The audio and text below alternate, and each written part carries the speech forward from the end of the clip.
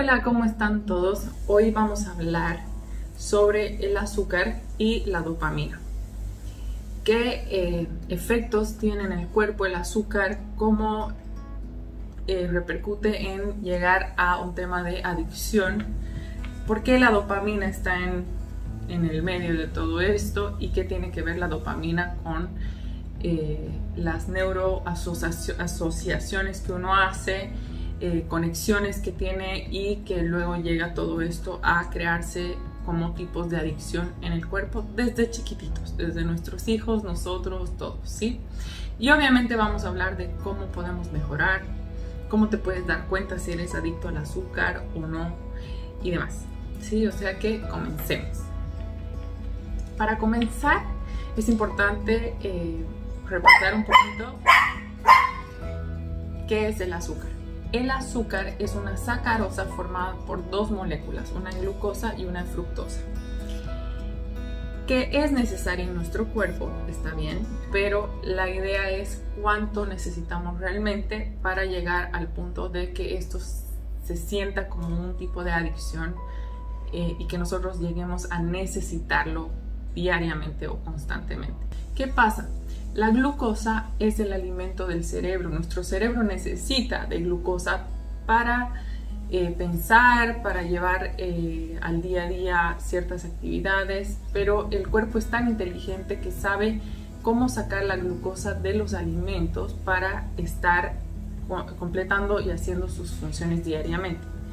Entonces la glucosa es el alimento del cerebro y eso genera una energía en el cuerpo de manera inmediata que poco tiempo después se pierde o se gasta. ¿sí? Lo que nosotros necesitamos al final es encontrar una forma de tener energía no solamente de forma inmediata, sino de encontrar una energía que nos ayude a estar eh, de, de, manera constante durante todo el día y que no tengamos picos de energía y bajones. Así que eso es lo que normalmente sucede con el azúcar.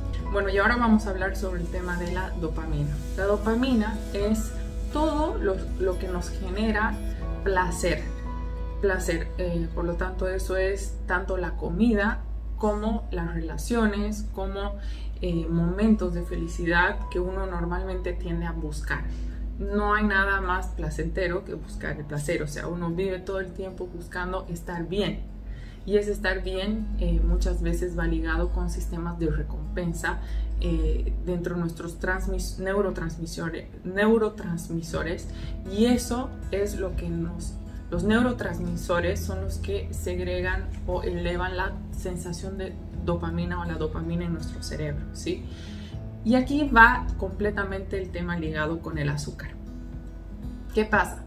Desde pequeños eh, cuando nosotros nacemos, si quieren ir al, más, al principio, principio de todo, nosotros nacemos eh, con una tendencia hacia lo dulce. ¿Por qué? Porque la misma leche materna ya es dulce. Y esa es una conexión que nosotros tenemos de, de mamá, de protección, de momento de unión y es dulce.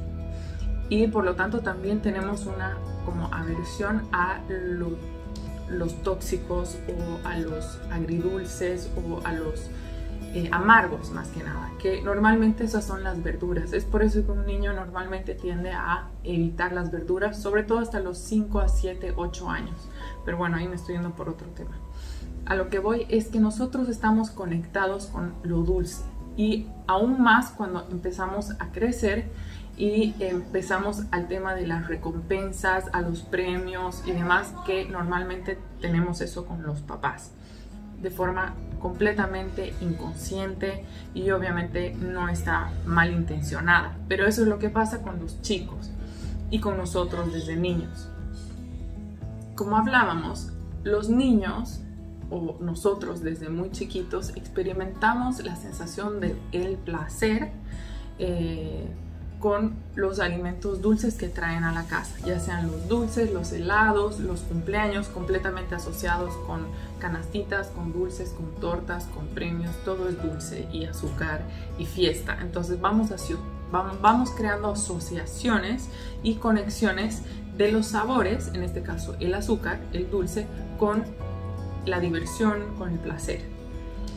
y eh, más aún si como padres estamos premiando o castigando o eh, utilizando eh, diferentes formas de educación nutricional, le llamo yo, donde involucran los dulces para que coman más, coman menos o como premios. ¿sí? Ahí es donde hablábamos de que la dopamina es parte de lo que nosotros buscamos en placer a todo nivel en la vida. Y ahí es donde vamos haciendo las neuroasociaciones de el azúcar con la dopamina.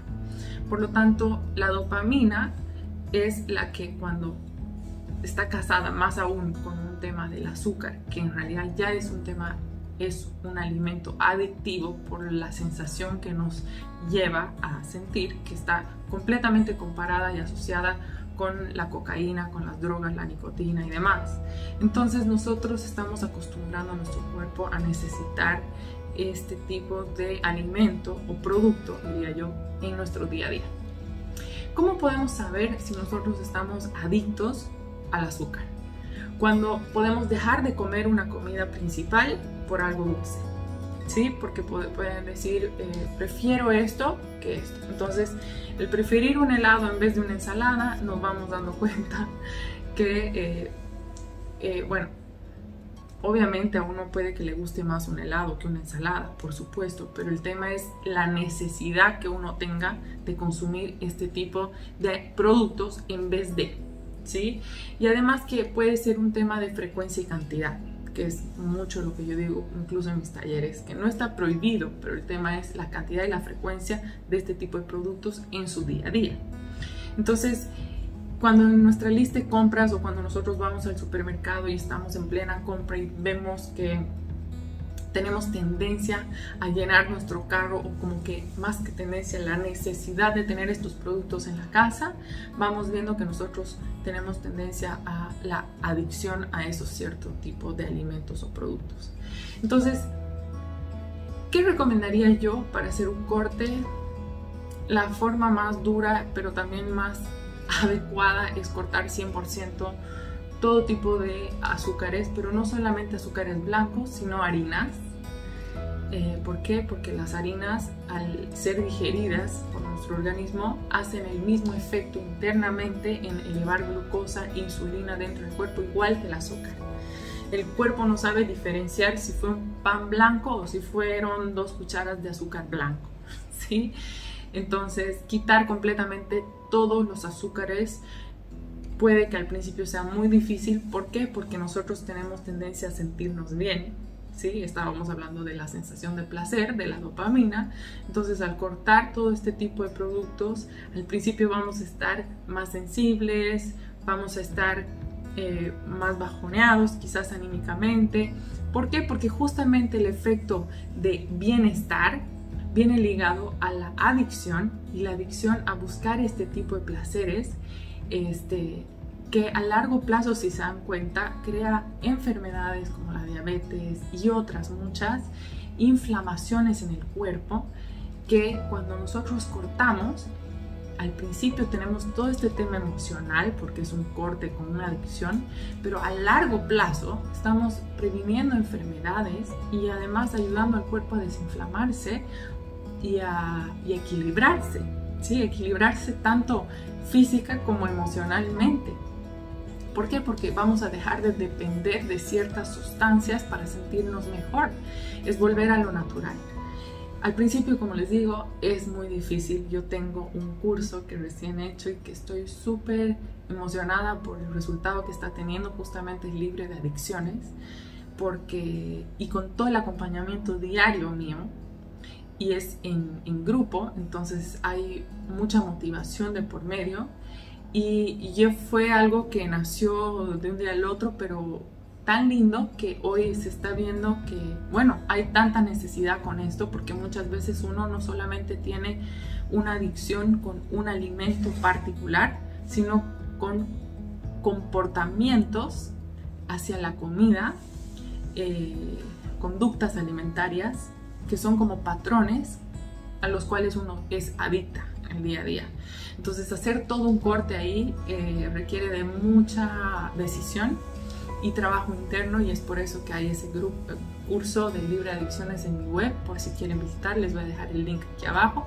Pero en este caso queríamos hablar específicamente de la dopamina y del azúcar, que está completamente ligado a, al curso libre adicciones, completamente ligado a un trabajo interno que uno tiene que hacer, eh, porque es, requiere de mucha conciencia y control emocional, ya que es cambiar patrones y cambiar hábitos. Y como no sé si han visto en otro video que dice las fases de un cambio de hábitos, son fases, no sé en qué fase te encuentras tú, quizás y espero este video te despierte eh, de la fase cero a la primera fase que es toma de conciencia y querer cambiar, aunque no sepas cómo, que es normal, es parte del proceso del cambio de hábitos, que si quieres te dejo aquí también para que veas ese video. Y lo importante es, no importa qué edad tengas ni en qué fase estás, despertar esa toma de conciencia para eh, comenzar tu cambio y tu transformación, porque no se trata de curar enfermedades, sino se trata de prevenir y yo creo que estamos a tiempo y en el mejor momento de toma de conciencia porque estamos en casa, estamos más tranquilos, estamos pudiendo hacer lista de compras, prevenir, organizarnos y si no es así, estás a tiempo de aprender. Espero que este video los ayude y los motive a esta toma de conciencia, a dejar cierto tipo de patrones, hábitos, alimentos que solamente nos están perjudicando no solo a nosotras, sino a nuestro entorno y obviamente si eres mamá, principalmente a tus hijos y a su futuro y las próximas generaciones. Les dejo los links de todo lo que necesitan acá. Si quieren pueden contactarse conmigo también desde la página web. Y también pueden seguirme para más tips y recomendaciones por Instagram, que estoy como Fabi Kremer. Les mando un beso, cuídense mucho y nos vemos en la próxima semana.